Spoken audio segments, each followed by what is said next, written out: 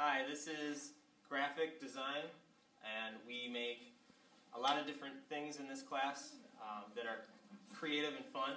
All right. One thing that we do is a CD project where we actually design a cover.